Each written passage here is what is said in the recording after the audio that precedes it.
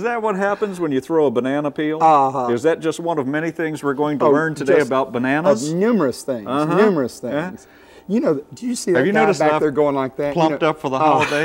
That's how big I am now. Anyway, that Jackie Mason got in a lot of trouble doing that. what? Giving time Oh, cues. he got thrown off the Right. Ed Sullivan show Uh-huh. for signifying badly. Well, I'm Larry Bly. And I'm Laban Johnson.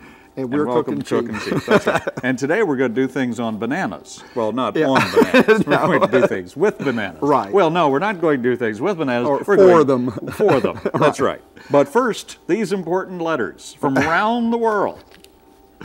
Well, here's one that I just really love. Dear Mr. and Mr., we love you to send all your recipes to us because we want to try them out. It all looks great, and we also like the way you and your friend acts, ACTS, on TV. Hmm. But I am glad you two don't fight in the kitchen like we do. We watch the show every time it comes on. We would never miss it. Yours truly, Penny and Mary. Thanks.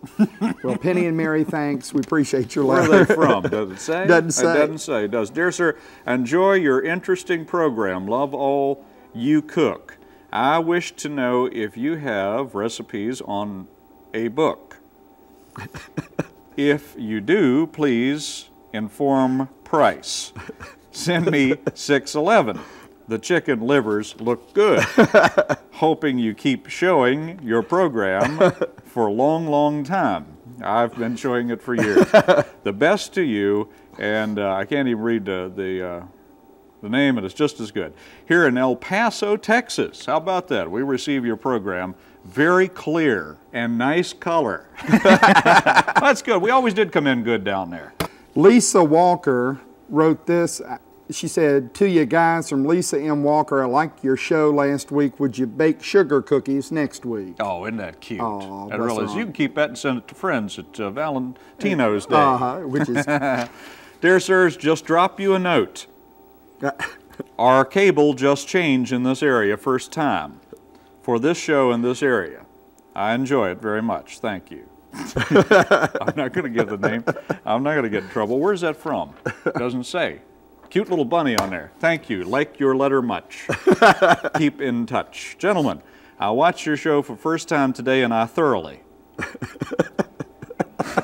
that's all it That's all it says. I watched your show today and I thoroughly. Would you please wonder what she wonder what she thoroughly? I don't know. This thing Just- it's disgusting. Just fill it in for yourself. Would you please send me the recipes for the wonderful candy you made? Thank you very much. That's from Louisiana. Uh-huh. From uh, Christian, Louisiana. Who's thoroughly? Thank you. we just want to tell you that you're thoroughly. And uh, oh, look here, a good friend who, who you will see a lot of the things here in the kitchen that sh- this gal has given us down Right. through the years. Our very lovely friend, the lovely Dorothy Ridgway. Dorothy Maria. Dorothy Maria. Dorothea Maria. There's a little dress up there. She is a, she is just wonderful. She's one of our good pals, and we have a whole bunch of gifts from her in the kitchen today that you'll be seeing. She sent a recipe for a special rum uh, cake. Should I read it? Yes, go ahead. Oh, before you start, check rum to make sure of the quality. Select large mixing bowl, measuring cups, etc., and check rum again. Well, this is our kind of recipe. Yes. With electric mixer, beat one cup of butter in a fluffy bowl. Add one teaspoon sugar, beat, check rum again. Add three large eggs, two cups fried droot, beat until very high. If fruit sticks in beaters, pry out with screwdriver. Taste rum again.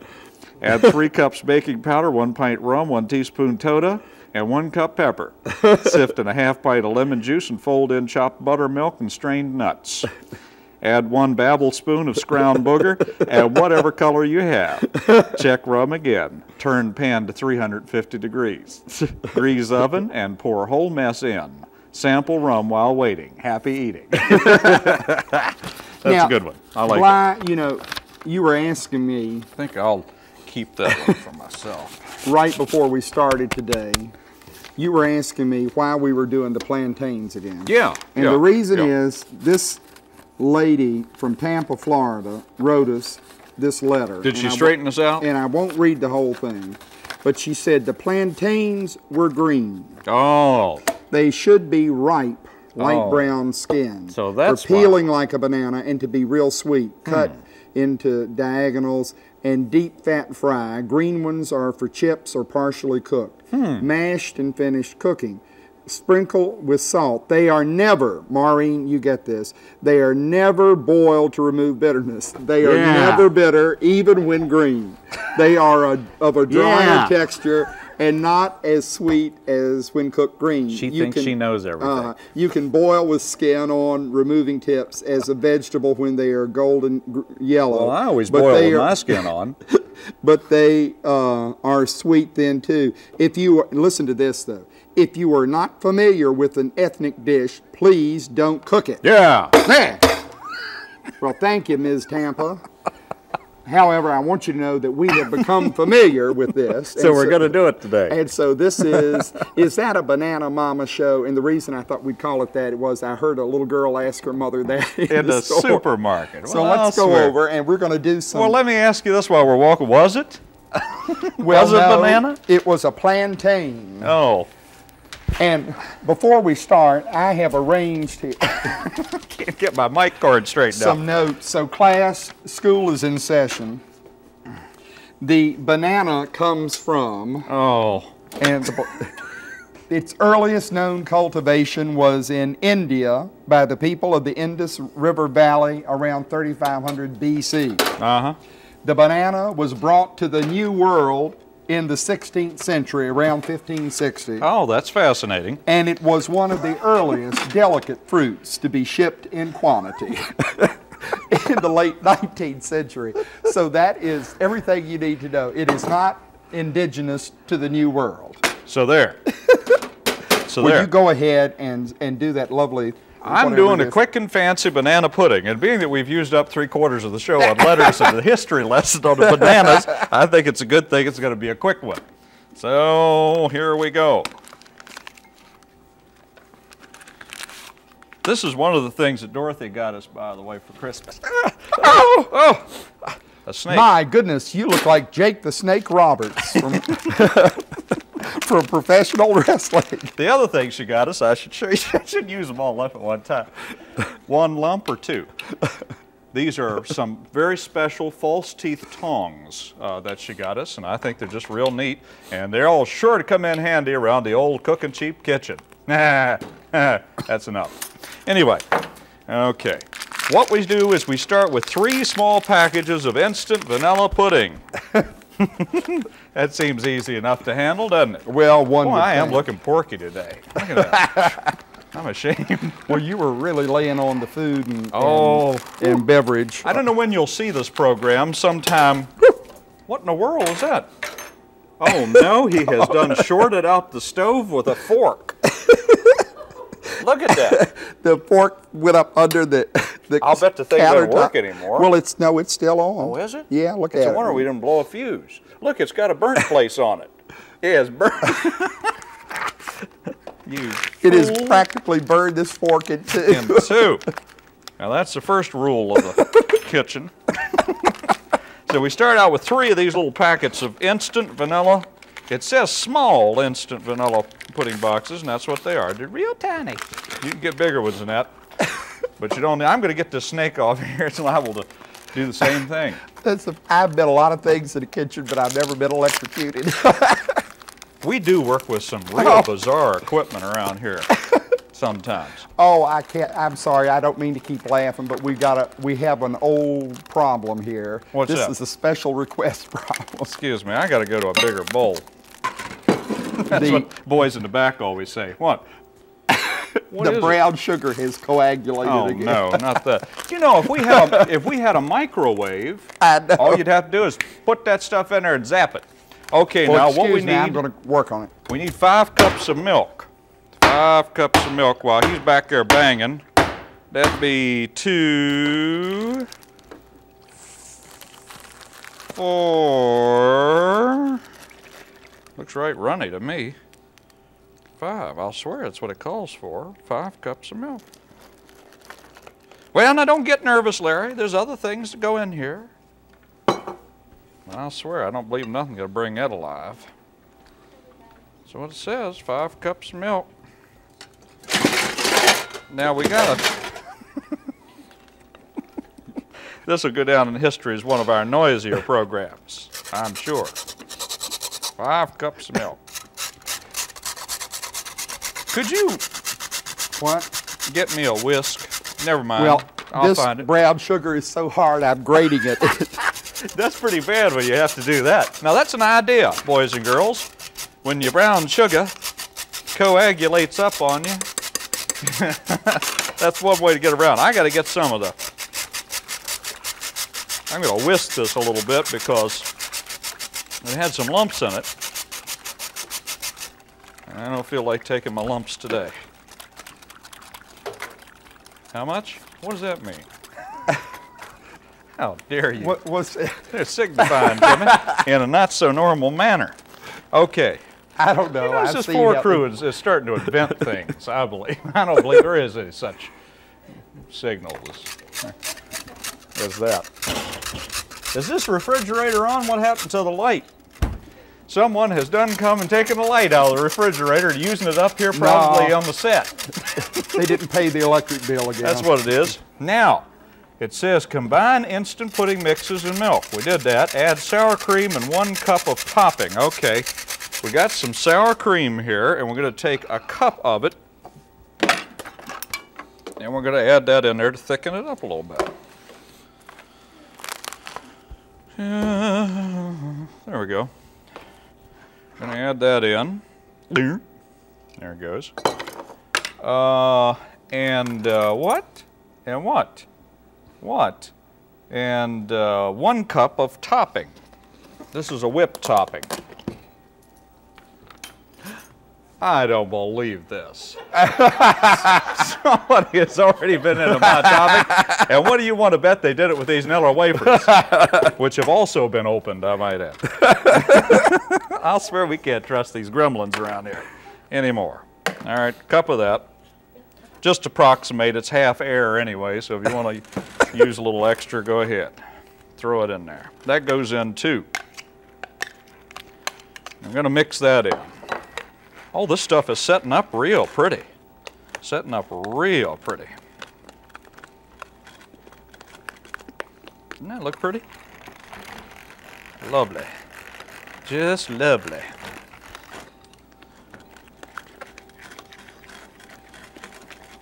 I believe this is going to work out all right. I'm going to whip on that a little bit. Excuse me. I can't help it. Just a little bit. Let's make sure it gets in there real well. Woo! I know we'll be holding them back on this one. now you're going to hold off on some of the whipping topping there, whip topping, because uh, going to put some on top when you get finished. Now, all we got to do is we're going to layer sliced bananas and vanilla wafers with the, uh, the pudding mixture. There's really not anything too exotic about this, if you get right down to it. Now, you know where I come from. They go one step further on this thing. They, they make a meringue. And They top it with a fine meringue and you stick it in the oven for a brief period of time until the meringue gets nice and brown. Somebody has stamped my bananas with little bunny rabbits. I'll swear this gang is something a little wacky down here today. Have you noticed them? Uh huh. Yeah, a little wacky. Well, we're going to take some of these and we're going to cut them that way and we're going to make a layer of those. I'm going to make my first layer on the right there on the bottom and then we'll put some of that in and then we'll put some Nilla wafers in and oh, we're just going to have great fun hmm. on the bayou. That's about enough of that. Take a little of that. We're going to put that in. Link. Like so. Mm-hmm. I'm to take some vanilla wafers. This is a real difficult recipe to figure out. I mean, this is one of the toughest ones I've ever done. You know, it's nice if you let this set up long enough for the vanilla wafers to get soft, lest someone crunch down on them and break their teeth. Of course, around here, they don't lay around long enough to get soft. All right, here's that. Another little layer of this. And so it goes, bananas and wafers, bananas and wafers. Now back to Mr. Johnson. Whoa. Well, th- thank you so much. I was not expecting you quite this soon. I'm trying to peel this plantain and it's, it's kind of slippery. I thought that thing was supposed to be ripe. Well, it is. That's why it's so slippery. Oh, No, a plantain is a member of the banana family. you remember the banana family. Uh, they had a show on TV. Anyway, we're going to fry these babies. They are drier and not so sweet as a banana. I have here a little uh, sort of a dough or a batter that I've made up using uh, some milk, an egg, tablespoon of brown sugar, about six tablespoons of flour, and a pinch of salt. All of that is gone together to make a little batter. Let me show you what a plantain looks like. Here's one. And they are not ripe until they're black and ugly. Uh, this, these, uh, I bought a couple that were real green yesterday, but they've, uh, they have really uh, gone over since then. And they are hard to peel. They're not just like a banana when you peel them. Uh, you can cut them real thin and make plantain chips out of them by deep frying them. And Oh, boy. they are real good That sounds if you've ever had them. Or you can just peel them like a banana, like I've got right here. And you want to slice them into like half inch diagonal slices so that you've got a, a pretty good thickness on them. These uh, plantains grow just like the banana does, upside down on the tree. They grow like this. They defy gravity. They grow like that on the tree in stalks that are divided into hands. Beg your pardon? That's what you call a bunch of bananas, is a hand. Oh! Now, I wish you wouldn't do that. We don't know where this hand has been. No, it was, uh, we It- had the staff. Uh, It was it was it. for the movie uh, Blue Velvet and didn't make it. the staff was uh, the staff was doing its cuticles when we got on the air earlier today. I just want to finish this up while he's doing that. Now, all you do is you just top this off with a little bit of this goop on top, and it's just real pretty. And then you put it in the refrigerator and let it get nice and cold. Isn't that pretty? Except you would make it in a much larger bowl than I have, boys and girls, because I only have two bowls in the entire kitchen, and I was using one of them to mix things in. So there we go. And while Mr. Johnson's playing with the plantain, I'm going to do a fancy little version of this for you using a much smaller uh, thing. Whatchamacallit. There you go. It's real pretty. For some reason, my, my vocabulary has failed me. I'm going to go have uh, something to drink, if it's all right with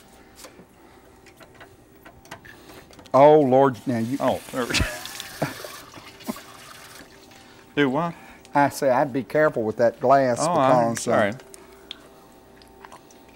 that's one the crew gave us for Oh, the Oh yes, uh, we've been given some fine glasses, fine glasses. a little gift here.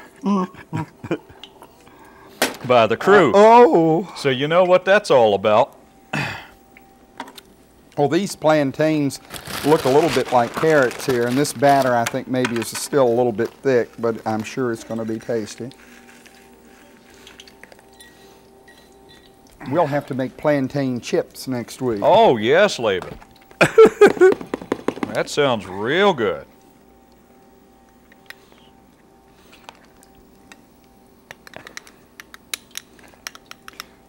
There we go.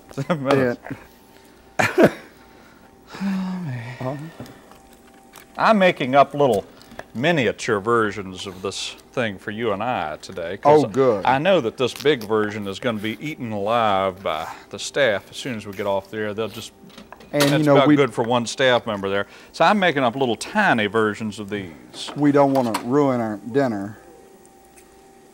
This is the night you're taking me to dinner, isn't it? Oh, yeah, Laban. sure. I thought you had that bad throat. I didn't think you could taste or anything. Well, thank you for noticing how miserable I am, but uh, I think I could probably force myself. Uh huh. Johnson has never been so sick that he hasn't been able to eat. Never. Ever. Is that all you do, uh, Laban? Is Yeah, that as you just- exciting as it gets? Uh, Uh-huh. A little quiet here on the old floor today. Why don't we show these recipes? That's something exciting. Oh, there we go. Quick and fancy banana pudding, which I'm still playing with even as we speak here.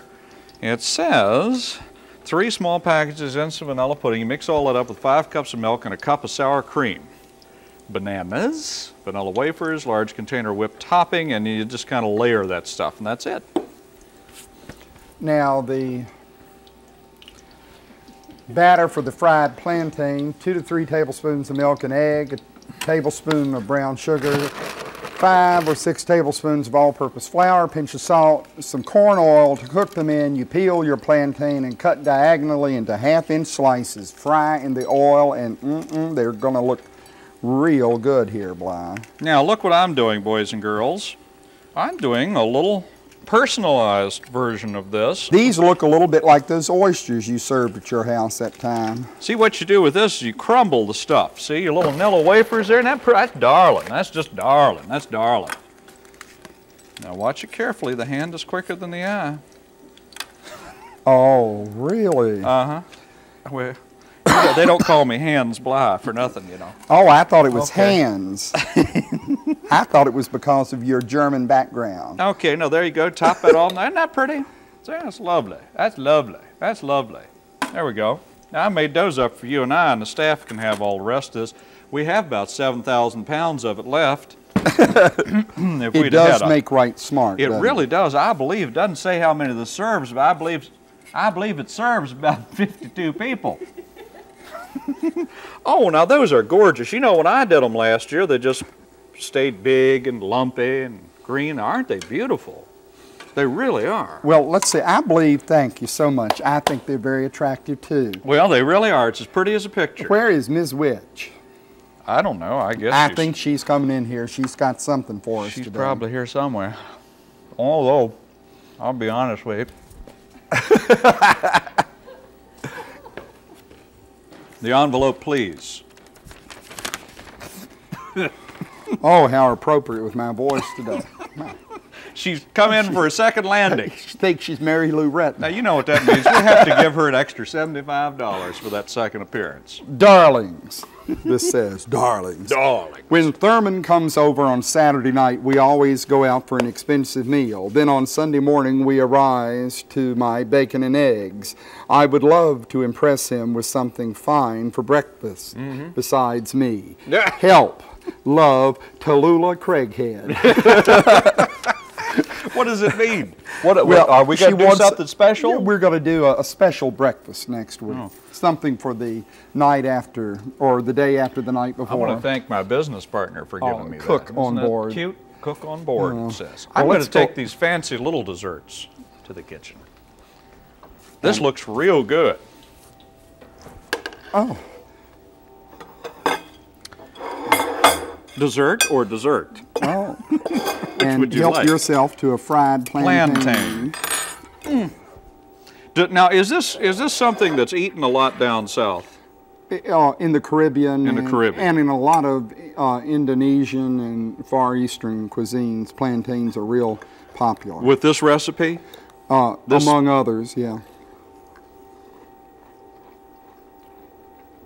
Well, this is wonderful. What is Well, that? I kind of like that. Is this okay? Hmm. Yeah, it's uh, They're Hmm. not as sweet as a banana. you're right. Nice, delicate flavor to it. Very nice. That's all right. Well, that just goes to prove that you should try, try again if you don't Right. succeed the first time. I'm gonna have a And when you this. see those weird vegetables in the grocery store, go on and get them and try them. Find out what they are and see if you can do it. You know, that sour cream, I think, kind of adds a little Mm-hmm. extra to the flavor of this pudding mix. Sort of jazzes it up a little bit. Mmm, it's real good. Mm. I think this is a meal I can live with. of course, I'm not Oh, too heavy too. on the. Well, I guess you won't be eating any more desserts now for the next No, three or that's it. four months, right? I'm swearing off all desserts Mm-hmm. before you have to butt two TV screens together get my face in your living room. Not to mention the rest of you. Not to mention the Well, rest of me. It's time for us to go. We'll be seeing you again next time on this station. Right if you get a job. Bye. Bye.